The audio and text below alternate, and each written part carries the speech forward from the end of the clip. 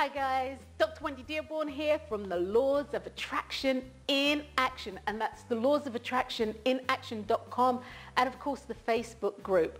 I invite you to join us there where you can see Facebook Live, things that I do, videos that I suggest that you watch and um, let me phrase it this way, coming, coming um, in 2018, I am looking for more, or I will be, offering a more integrative approach to you and you utilizing the universal laws, plural, of attraction. And while I say that, it is the laws, guys. It is the laws. It's not the law of attraction. And why many people have mm, such difficulty with using the law of attraction is because they are unaware that it is the laws. And there are so, so many laws. In actual fact, as Florence Scovel Shinn, the author of The Game of Life put it, and that's one of my mentors. I have mentors that are alive and I have mentors that have made their transition years ago. actually, she was in the 1800s or what have you. So um, Florence Scovel Shinn, she, she says, every time we open our mouths, we are creating laws for ourselves. And for any of you who've watched any of the tutorials that I've done on the power of your spoken word, you can see where this is true. You speak things into existence. So that being said, guys, welcome, welcome, welcome. We are actually talking about how versus what. And today, this is what this brief tutorial is going to be about. I actually thought I had done a tutorial on this and as I looked through my archives I realized I hadn't. And it's something that's really important. It's really very simple but it's really very, very important. It's relevant to you being able to have clarity around getting what you want. And not only that, knowing how to use the laws. Knowing how to use the laws. And hear the word, how to. How to and what do are two totally different things. So guys, welcome and once again my name is Dr. Wendy Dearborne and on the flip side we're going to be talking about how versus what, you and the universal laws of attraction and getting what you want.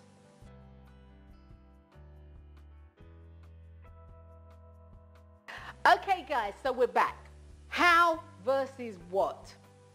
How? How is something that is external to you.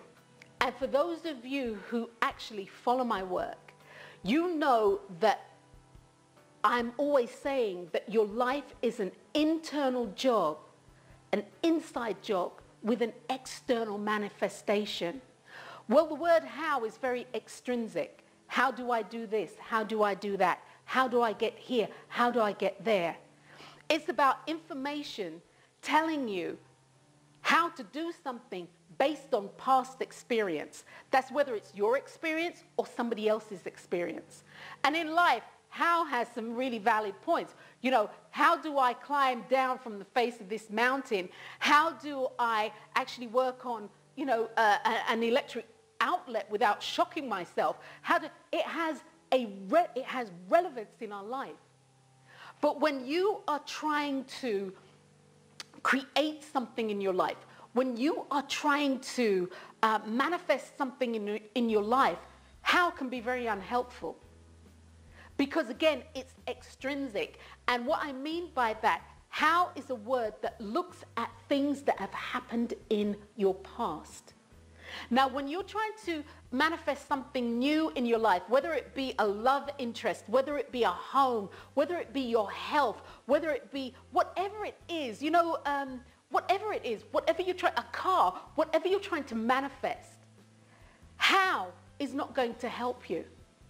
And it's not going to help you guys because you will try to use past experiences to create a solution for what you're wanting. And in this instance, it's very, very unhelpful. There's a picture, there's a picture, and I, am going to insert the picture, and it has this little big-head man, which his head's really big, and he's sitting there, and he's holding his hand in his head. And he's talking about, as you can see here, there's money on top of the, uh, on top of the, the cube. And he's saying to himself, you know, how, how do I get to the money? Well, you see, when he's sitting there saying, how do I get to the money? He's using all his past experiences to figure out, how can I get up there when there's no ladder, there's no nothing, there's absolute, how can I get up there and get the money? Well, as you can see from the actual, you know, the, the, this image, if he had changed his internal dialogue with himself, he would have done something totally different. He would have done something totally and utterly different. You see, as I said before, your life is an inside job with an external manifestation. And because we see everything outside, we think that our lives are an external, an external thing with an internal manifestation, and it doesn't work that way. It goes, you go from the inside out, not the outside in. And so for our cube man sitting there, if he had asked the question, what, which is an intrinsic question, what does it look like for me to be able to get this money? He could start a whole new dialogue with self. And not only that, he opens himself up to the universal source known to me as God. He opens himself up to his intuition or his higher mind, the small voice within, the quiet voice within, the still small voice. He opens himself up to hearing information that can assist and support him in achieving the goal that he wants. When he asks the question, what? he actually invokes the universal law of imagination. And this is why everything that you see out there, everything that I'm wearing, everything that you're wearing, the, the, the, the chair that you're sitting in, the car, you know, from the smallest thing, from a paper clip to a thumbtack, somebody asked, what would it look like if I could pin something on the wall and it stay there? Bam. They asked what? When you ask what, you are giving the universal source permission to implant or drop information into your mind or your imagination, as it were, so that you can start a process that will allow you to find your, hear me clearly, your solutions to your to your, to your, to your problems and your answers to your questions. You see, everything that you need is, is within you. And this is a fundamental belief that I have. Everything that you need is within you. And this is how I treat my clients. This is how, actually, this is how I treat everybody, including myself. This is how I live life. Within you are the answers to your questions. Within you are the solutions to your problems and dilemmas. They're not external to you. That's a how. So how versus what? When you are using the universal laws of attraction, what you should be doing, what you should be doing is talking about the, the, the what. That's what you want to talk about. The what? You don't need the how. You don't want to talk about the how in this instance.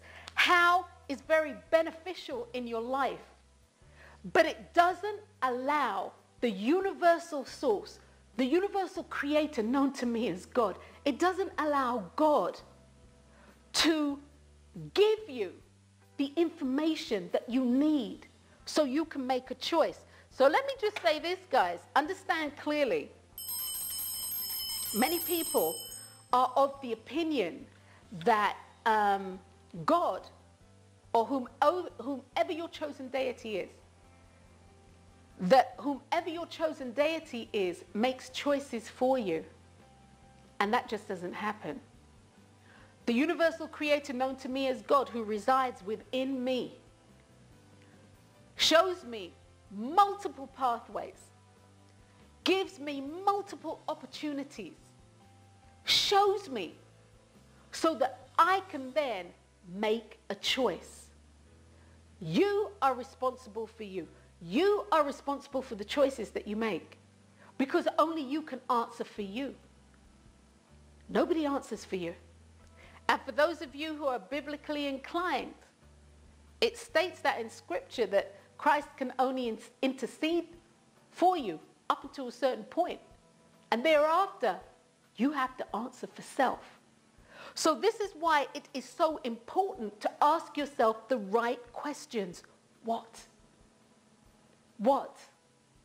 So guys, um, I just scribbled all over the board, but what you want to ask yourself is, actually, I, what you want to ask yourself is simply this. What does it look like? What does it feel like? What does it sound like? What does it taste like? What does it smell like? Um, did I get all the five senses? What does it look like? What does it feel like? What does it taste like? What does it smell like? What does it sound like? Ask yourself these questions. They're, they're, intrinsic questions. You, you say that you want to be a multimillionaire. What does that look like to you? What does that feel like to you? What does that sound like? What does that taste like? What does a multimillionaire smell like to you? You see, if you go here and you ask yourself, if you go here and you ask yourself, how does a millionaire look? How does a millionaire smell? How does a millionaire taste? How does you do, it doesn't even it doesn't even flow right. It doesn't you will start trying to figure out based on your past experience, which actually may be a limited experience, what all this means. You see, using the universal laws of attraction truly isn't about your past experience.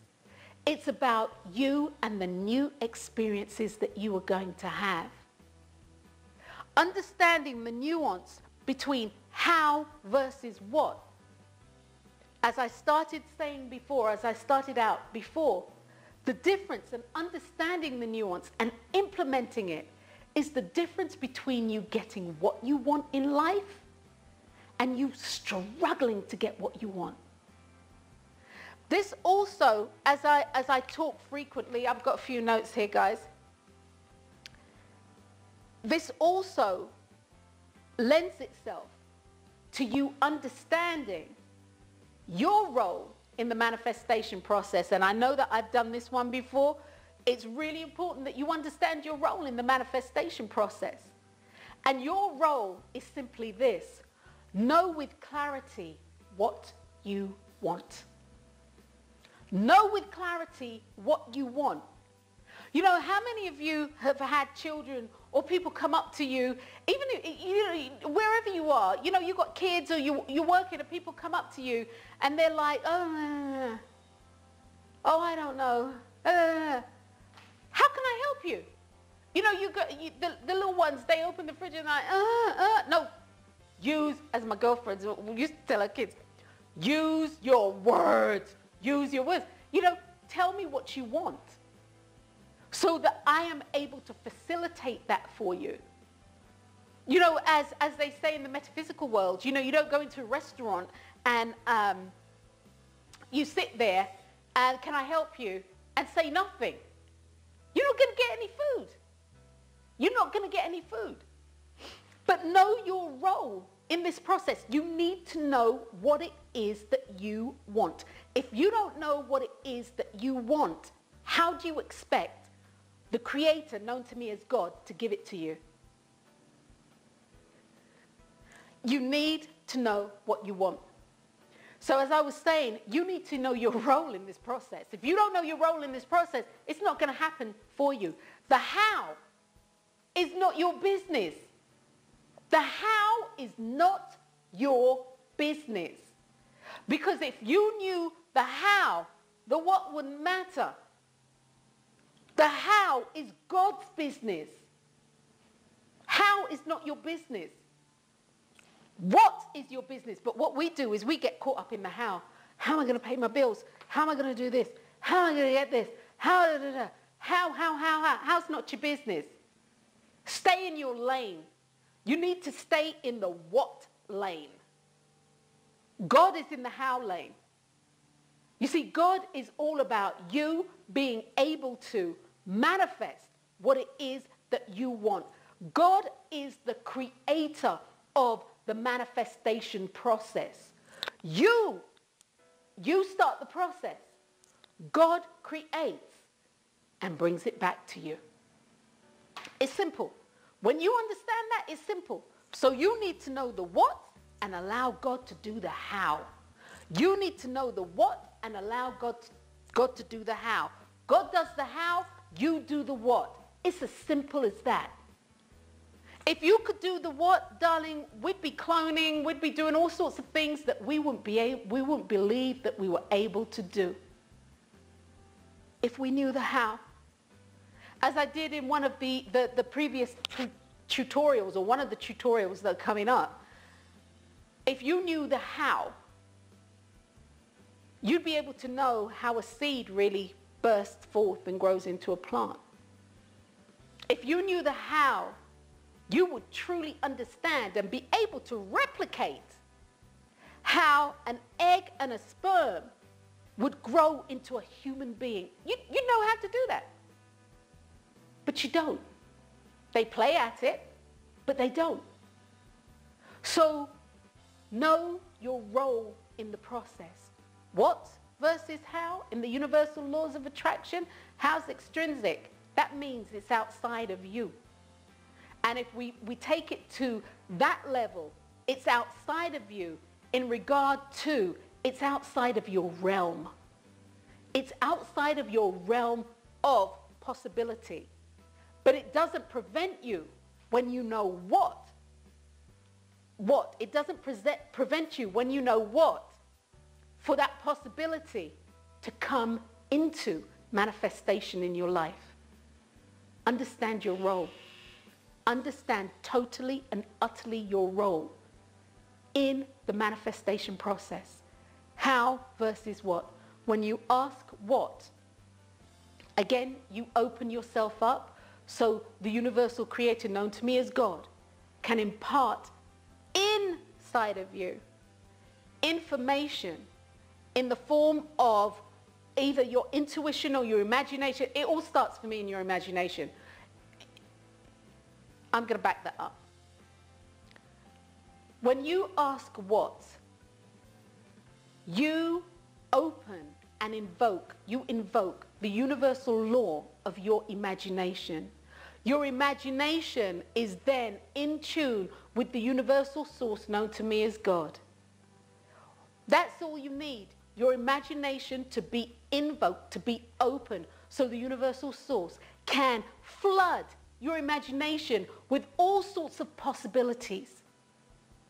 And it is from there that you get to choose a possibility.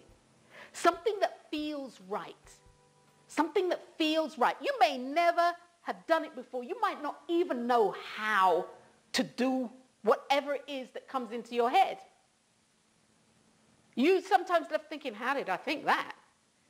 Well, it's because you invoke the universal law of imagination and the universal creator, known to me as God, was able to give you information, pertinent information that will allow you to, to that will allow you to have the solution or the answers to the problems and questions that you have. So guys, know your role. You're about what? What gives you clarity? The clearer you are, the clearer the universal creator, the how is. Know your role. What versus how? You're the what.